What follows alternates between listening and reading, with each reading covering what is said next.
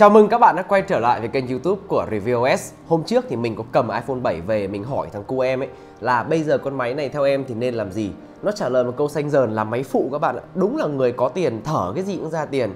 Và trong video này thì mình sẽ cùng các bạn đánh giá xem là iPhone 7 ở thời điểm sắp 2022 này còn làm những cái gì nhá, Hay là chỉ làm máy phụ mà thôi. Và chi tiết thì mời các bạn cùng mình bắt đầu để tìm hiểu. Mình là Công, tới từ Review OS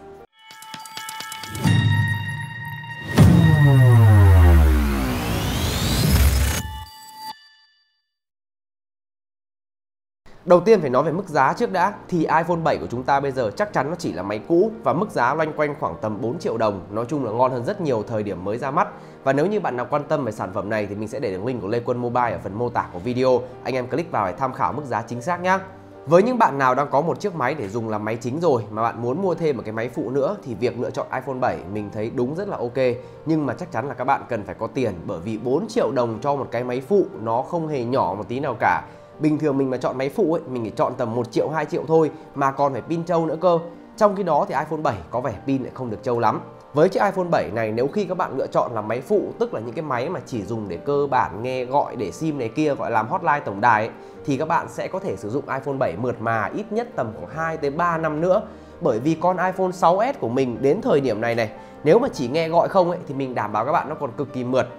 Vuốt phát nào là ăn phát đấy vuốt phát nào là được phát đấy không hề bị delay không hề bị lag. Nên các bạn cứ an tâm iPhone 7 tầm 2 đến 3 năm ok ngay. Bởi vì Apple họ tối ưu tốt mà. Nên là cái khoản làm máy phụ thì có tiền ok. Nhưng mà mình nghĩ không phải ai cũng thừa tiền như vậy. Chúng ta hãy cùng nhau nói về tính thực dụng hơn của chiếc iPhone 7 này thay vì việc là chỉ làm máy phụ. Nếu như mà nói về mặt thiết kế thì iPhone 7 sẽ làm cho các bạn có một chiếc điện thoại cực kỳ an toàn. Bởi vì nó nhỏ, nó gọn, nó nhẹ nằm trong lòng bàn tay thế này các bạn đi ra ngoài đường chả may có đưa lên tay để nghe alo 1234 cũng không sợ là ai giật điện thoại của các bạn. Chứ còn những cái máy bây giờ như kiểu là Note 20 Ultra chẳng hạn to này cầm khác gì. Ê giật đi giật giật bạn cầm đây mà giật này. Còn con này thì khác các bạn cầm lòng bàn tay này, đâu ai giật được của bạn đâu. Thì đấy là cái tính cực kỳ an toàn của những chiếc iPhone 7 khi các bạn sử dụng những chiếc máy nhỏ và gọn. Thiết kế ở trên iPhone 7 mang lại một cảm giác cầm nắm rất là tốt bởi vì đây là máy nhôm nguyên khối này, lại còn bo tròn và thậm chí điểm ra mắt là flagship của Apple nên đâm ra họ chăm chút rất là kỹ. Chỉ trừ một chuyện họ chăm chút kỹ quá, họ tẩy bay luôn cái cổng 3.5 của chúng ta đi. Như vậy muốn cắm tai nghe ở trên cái này, các bạn sẽ cần có một cổng chuyển. Còn nếu như các bạn không có cổng chuyển đó thì các bạn không dùng được cái tai nghe chân tròn của chúng ta. Các bạn cần dùng tai nghe Lightning hoặc các bạn dùng tai nghe không dây và chắc chắn là những bạn nào mà dùng tai nghe qua cổng Lightning hay là tai nghe có dây các bạn không thể nào vừa dùng vừa sạc được với em iPhone này. Mà đặc biệt lưu ý là các bạn không nên dùng cái adapter cho phép vừa dùng tai nghe vừa sạc nhé cái adapter đó nó không có MFI và không được Apple cấp phép rất có thể gây ra cháy nổ hỏng điện thoại của các bạn. Tiếp theo là về phần màn hình thì iPhone 7 với một kích thước nhỏ thì màn hình của nó cũng bé chỉ là 4,7 inch thôi.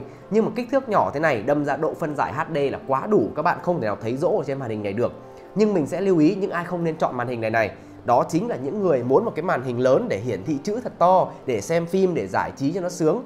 Màn hình bé thế này thì làm sao mà chữ có thể to và hiển thị được nhiều, đúng không? Đặc biệt những bạn nào chọn máy dành cho phụ huynh, mình nghĩ là nên chọn iPhone 7 Plus để cái màn hình nó to hơn và hiển thị được nhiều thứ hơn. Còn em iPhone 7 thì màn hình hơi bé, nên là xem ra khi sử dụng sẽ phải căng mắt lên để nhìn và mình không khuyến cáo điều này còn về mặt màu sắc thì iPhone 7 giữ được đúng cái chất của Apple, đó chính là màu sắc trung tính và độ chính xác màu sắc khá là cao. Khi bạn chỉnh ảnh ở trên máy này mà bạn nhìn những màn hình chuẩn màu, bạn thấy rằng là gần như nó tương đương với nhau. Và hãy lưu ý cho mình là bởi vì màn hình này kích thước của nó nhỏ, Đâm ra các bạn không nên sử dụng nó để chơi những game như kiểu PUBG Mobile Mình đã có thử trải nghiệm PUBG Mobile ở trên cái máy này rồi, Căng mắt lên để nhìn xem địch đang trốn ở cái bụi nào và bắn nó Sau khi chơi xong một ván 30 phút, cảm giác như mình muốn tuét cái mắt ra ấy nên là mình nghĩ chỉ chơi những game kiểu văn phòng xếp gạch xếp hình này kia thôi hoặc cùng lắm là chơi liên quân. Dừng lại đó được rồi đừng có bắn game bắn súng kiểu PUBG đau mắt lắm. Ok hãy cùng mình sang phần tiếp theo ở trong video này đó chính là về cấu hình. Nếu như chỉ thông qua một vài thao tác vuốt chạm ở bên ngoài thì phải nói rằng Apple tối ưu quá tốt Mọi thứ vẫn rất là mượt mà, bạn vuốt cái nào là ăn cái đó Mặc dù là máy này không hề có 90 Hz Nhưng mà cảm giác vẫn rất là trơn tru, rất là sướng khi vuốt còn mà đi sâu hơn về mặt hiệu năng lúc này, chúng ta vẫn có thể chơi được những game các bạn thích ở thời điểm này như là Liên Quân Mobile hay là PUBG Mobile.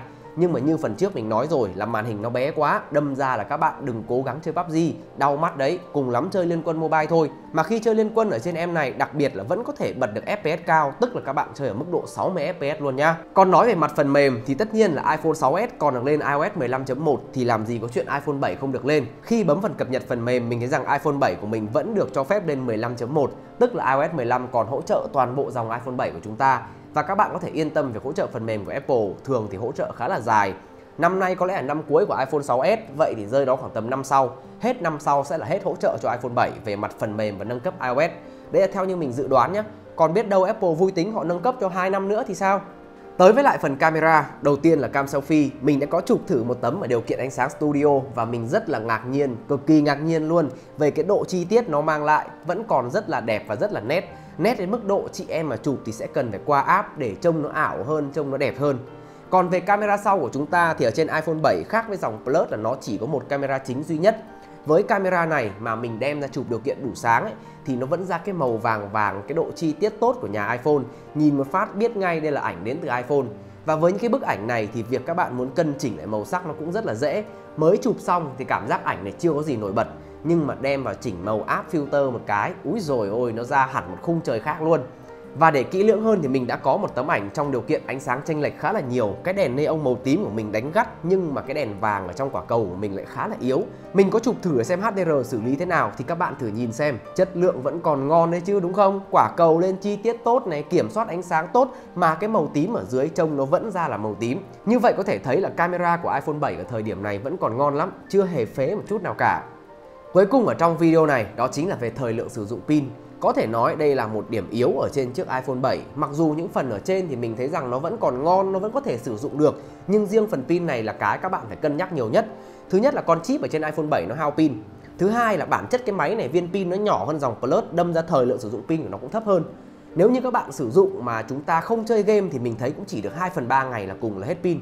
Còn nếu như các bạn chơi game thời gian còn ngắn hơn nữa và khi sạc pin cho cái máy này, các bạn lại không có sạc nhanh. Đâm ra về pin thì mình thấy đây là cái điều mà chúng ta đáng cân nhắc nhất khi mà định lựa chọn chiếc iPhone 7 có lẽ là dùng cái máy này, các bạn sẽ cần thêm một cái sạc dự phòng đi theo.